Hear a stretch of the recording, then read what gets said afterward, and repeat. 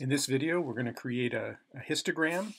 A histogram uh, uses bars like a bar graph, um, and, but it uses a numerical scale. And so the typical bar graph in Excel uses qualitative data, but we're going to use the bar graph feature to create a histogram which uses numerical data. For my example, I'm going to use the age of the U.S. presidents at inauguration. You can see the data here consists of all of the ages from the youngest president, Teddy Roosevelt, up to the oldest president at inauguration, uh, Ronald Reagan. From this numerical data, you have to create a frequency distribution. I did that over here, at least the beginnings of it. Created several classes from age 42 to age 69.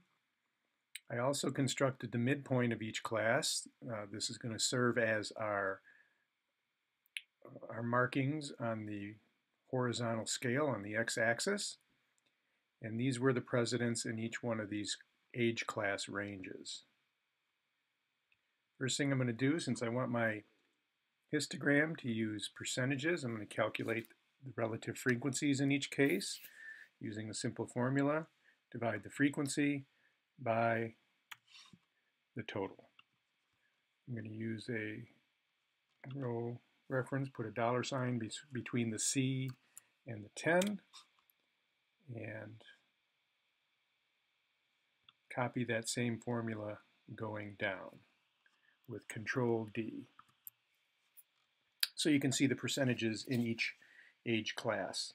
If your data were not formatted formatted to percentages, if they were formatted to kind of the general uh, and looked like that, up here is where you would convert them to percentages. And you could reduce the number of decimal, decimal places of accuracy or not.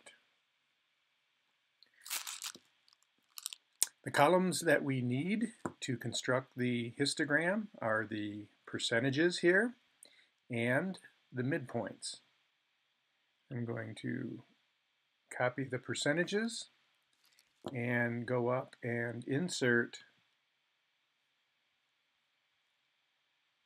a bar graph, is this, they call it a column graph in Excel, but we're going to use a, the vertical bars, so it's called a column graph. Now there you can see the, the bell-shaped look of the age data. And from here, what we're going to do is to edit this graph, the information that we need. I'm going to first of all make it much larger so you can see it better. When I click and drag, I'm going to hit the uh, shift key so that the graph stays in proportion. I'll type in the, the title.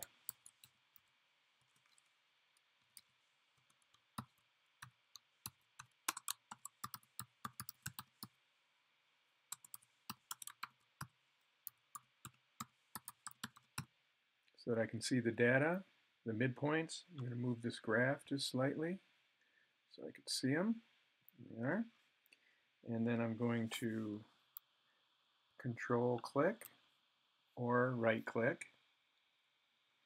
to select the data. And the horizontal axis data I'm going to use are the midpoints. So I'll select those. There they are and the y values are the percentages. Those should be good. And I'm going to hit OK. Now you see the midpoints down here. So since they're evenly spaced, it's going to create the illusion of a horizontal scale. And they appear right in the middle of the bars. Now another feature of a histogram is that there are no gaps between the bars.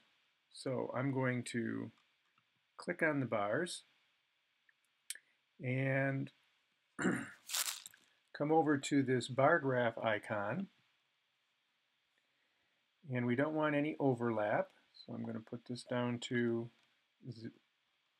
zero. Maybe I'll just click on this create zero. And then the gap width I want no um, no gaps whatsoever so I'll just put zero there. And there they have there you have it the the bars are all connected so it's looking more like a histogram so we're almost there. I'm going to select them all. So I'll click on the bars. I want to format those slightly. So I'll go over to the paint can. One thing you can do is vary the colors. Uh, I like a border. If you're going to use the same color it's particularly important to use a solid line. And then you can select your color over here uh, so that the border, I'm going to use black. And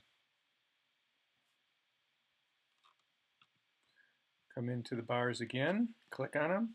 Then I'm going to control click again so and add the data labels or right click and add the data labels. There they are. I don't like their size or position so I'm going to click on the data labels and then control click again or right click and I'm going to format those data labels. I want only that value. I probably won't need leader lines, but I'm going to put it inside the end. And when I do that, it goes in there. I also would like those numbers to appear a little bit larger, so I'm going to come up in here to the font size while they are selected and maybe increase the size a little bit, about 18. How does that look? Yeah and I can bold them as well or format them in some other ways. So now lots of details.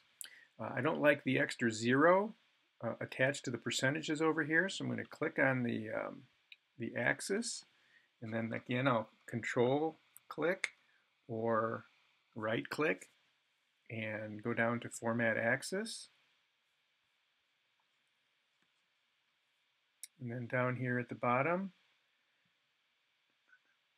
down at number.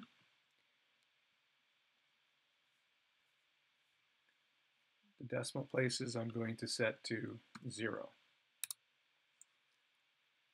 Looks pretty good. Down here at the horizontal scale, I'm going to click on that to highlight the axis and then control click or right click to format the axis. I want to put little tick marks along the axis.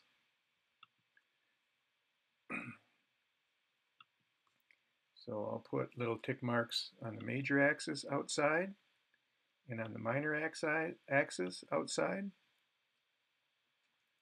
And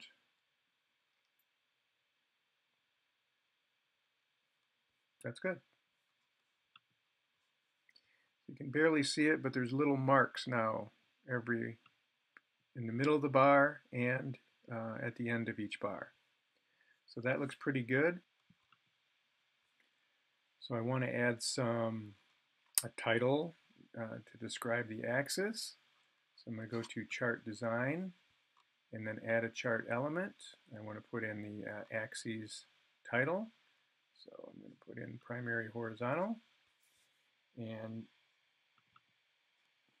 delete out the title and just type in age in years. Similarly, come down here over to format and let's look at the vertical. And there it is. Click on that and type in percentage.